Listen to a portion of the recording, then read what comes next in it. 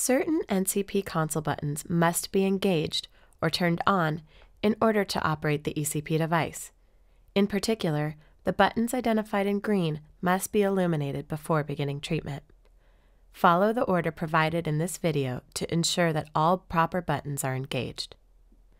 Before pushing the Start button, make sure that the patient is ready to begin treatment.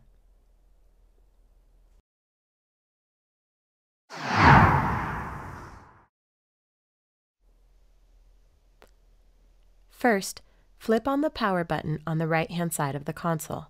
The orange light illuminates when it is turned on.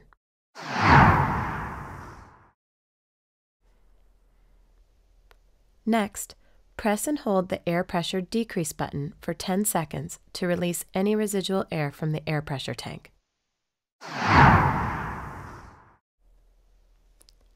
Now engage all of your valves, beginning with your deflation valve. The deflation valve must be on in order to begin treatment.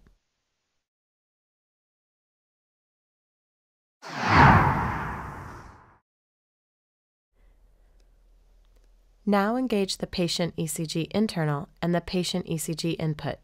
Both must be on to begin treatment.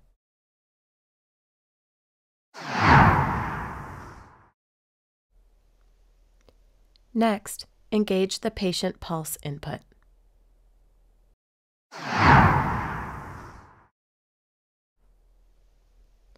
Lastly, Engage the Start button after you've turned on all necessary buttons and made sure that your patient is ready to begin treatment.